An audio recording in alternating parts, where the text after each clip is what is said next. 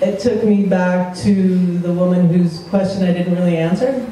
Um, and uh, I realized that I was trying to get these things out of, uh, out of painting flat, and I couldn't.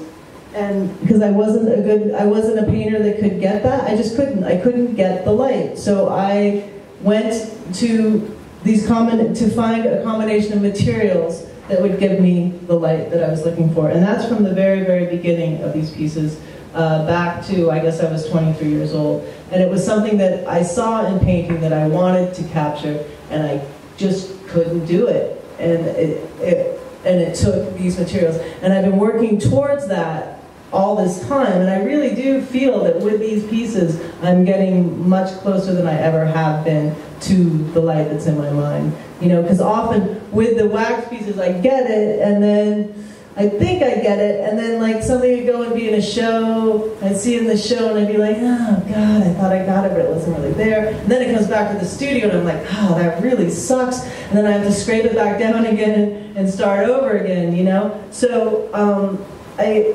it's, it's been a really long pursuit, but it really was about trying to get something out of a painting. And it took me to take it into like, I'm sorry, my eyes do this, um, a sculptural realm in order to get a good painting. You know what I mean? Does that make any sense? Like I needed, and I also think that if these were flat as paintings, they would be really uninteresting and boring. And it's the fact that they are really sculptures that makes them at all interesting as paintings. Does that make any sense?